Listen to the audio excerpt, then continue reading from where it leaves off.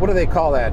Flight or flee um, instinct, and uh, or fight or flee instinct. That's what it is. Is it flight or fight? Flight or fight. Something Oh, like flight or fight. that. Yeah, that's what it is. Yep. Flight or flight. It's flight or fight. Flight or flight. Yeah. Flight or fight. See, you can't say that ten times fast. You can't. You can't argue with Google. They're always right.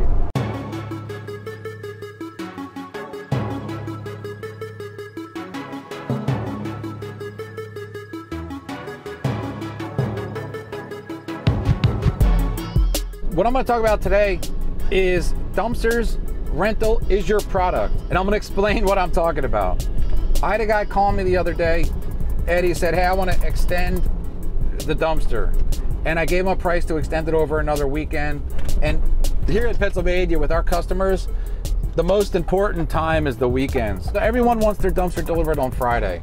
And he had said, I need it over another weekend. I said, no problem, but I'm gonna lose, you know, another sale. And I gave him a, a price to extend it over another weekend. He got a little frustrated with me. And I had to explain to him, dumpster rental is our product. It's no different than a hotel room. When you rent a hotel room, there's going to be different prices for the weekend. There's going to be different availability, and you're going to be able to jockey your accessibility with your product. And this is your dumpsters, no different than a hotel room. And I try to explain that to people. There was um just a situation, like I said, just this week. He wanted to ex- extend it, and he negotiated, you know, a price. I gave him a little bit of a discount, which I don't normally do, but he was local, you know, a mile away. So I hooked him up with a little discount. And then he wanted to extend it over another weekend. And he got pretty heated with me that I didn't jump up and down thanking him to let me give him my product for free. He's like, Well, I thought, you know, I could just keep it for free for another weekend. I said, This is my product. Like, I can't give away free product. I don't have a problem giving you a discount or trying to work with you. But just to say, hey, take some product. It'd be no different if I was selling soda or or Tastykakes or or what have you. And I said, you know, just go take a few off the shelf and you know take them to all your friends. It, it's no different. So you can't give away the product for free. That leads me into the second story of a guy that wanted me to haul for him and only for him, and how it really put a crunch on our on our business. I'm having a better day than the guy in that ambulance. When I first started my business, there was a lot of things that I had preconceived notions on that I thought I knew and I didn't know. The number one is is going to be to definitely control your costs.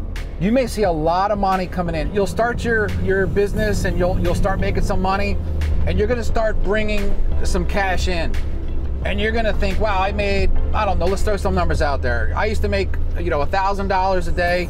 Now I'm making five thousand a day and ten thousand, and it'll keep building up higher and higher. As you make more money, your costs don't necessarily go down. So even though that you're making more money and your production goes up, there's going to be a point to where your costs are going to be going up. They could go up twice as much, even three times as much when you start doubling your income. Just because you're making more money doesn't mean you're making more profit. That's what I'm trying to say. You're going to say, "Well, how does that work?" Because there's a lot of things that transpire into you making more money that don't generally mean that you're going to make more profit. Let's say you have a big customer and they want you to run dumpsters for them. And you're running one dumpster a day for them at let's say 500 bucks. That same customer says to you, I want you to run five cans. This happened to me, and it was very early on in our career. A customer wanted me to run dumpsters for them, and it was great. I was doing a few dumpsters a day actually. We were, you know, doing pretty well. He said, "Hey, there was like there was like some sort of like flooding or something." And he says, "We're going to need like 10 cans a day." I'm like, "Wow, that's great. I'm going to like go buy like a beach house in the Caribbean and you know, be, you know, go I don't know, be like a rapper out on a mega yacht, you know, like with, with, with all this with all this coin, I'm gonna get a grill. Viper. You know, yeah, yeah. I'm a, yeah, I'm gonna be like hit it twice. I'm gonna be a viper or piper or whatever.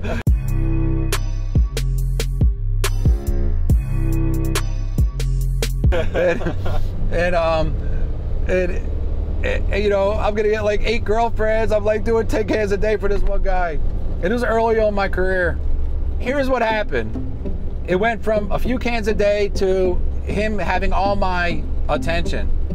What happened was I was doing so many cans for one person, I, I couldn't service my other customers. and they put me in such a bind. Basically, they wanted to hire me as their personal hauler because, like I said, there was like a natural, there was like a, it was like a hurricane or something like that, and I, I can't remember if it was a, I think it was a, either a flood or a hurricane. It was a, it was a long time ago.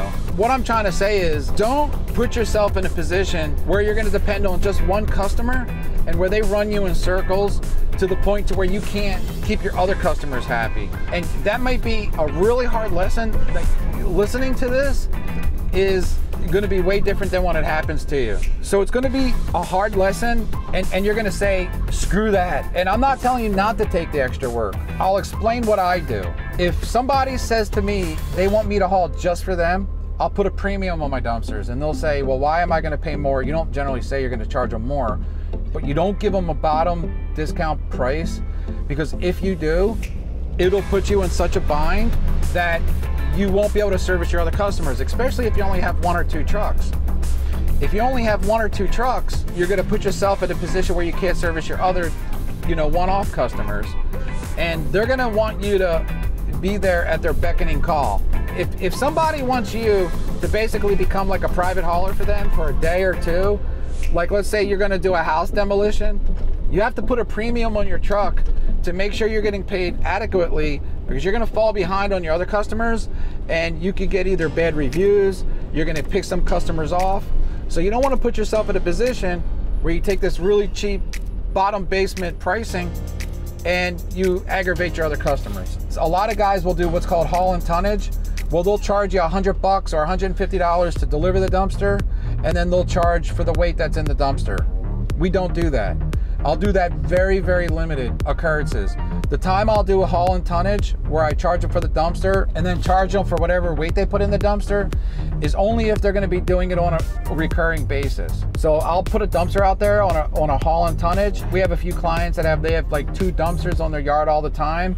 They do like rehabs and stuff like that, but they keep it they keep it the whole time. We'll charge them X amount of dollars and that'll change markets to markets. We're on the eastern side of Pennsylvania. I've seen people do it as cheap as $150 which is completely you're not making any money at 150 if you haul a dumpster for 150 bucks do 150 plus tonnage in my opinion you're losing money can you make money doing it sure i guess you can make a few bucks but the liability that you're putting into that haul, lifting a can on the truck, putting a truck on the road to make 30, 40 dollars because you're not 150 is not going to be 100% profit and you're only making a few dollars on tonnage, you might make what you think is your hard profit is let's say $150 on a can. You take it out, you deliver the dumpster, you pick it up, you have fuel, you have your manpower, and now you have your liability. By the time you factor all that in to put a dumpster out on the street for 150 bucks, unless you need that 150 bucks, don't do it. Hauling a dumpster for 150 bucks, it's like a form of prostitution. It, it just doesn't, it, it doesn't make sense in my opinion. Um, you know, for us to put a can on the street for less than 270, 220 is kind of like what makes sense. Now, if you're doing nothing and, the, and you know, a friend of yours says, hey, I, I, will say I will do dumpsters for friends for 150 for haul. That's rare occurrences, you know, like my cousin. But I still have to charge them because you can't run a benevolent society. You can't give your services away for free. In closing, remember guys, be fair with your customers, understand what they want, and be, be compassionate to their needs. Just because they're trying to negotiate doesn't make them cheap, it just makes them not want to give you their money. And understand what they're looking for. And don't let one customer dictate how you run your customer. Don't let a customer tell you where to put a dumpster or if you feel like you can't put the dumpster in the grass, listen to your internal warning system and don't put the dumpster in the grass. There may be something in the back of your head that tells you not to do something, but if someone reluctantly tries to talk you into something, you're gonna have a disaster on your hand. And don't fall into the trap that I did where one customer makes you want to haul just for them and put you in a bad position. It could really put you in a bad situation. All right, guys, that's about it. I'll um, we'll check you next time, and peace. Update on the fight or flight. It's confirmed. It is fight or flight. Bottom line, we're done here.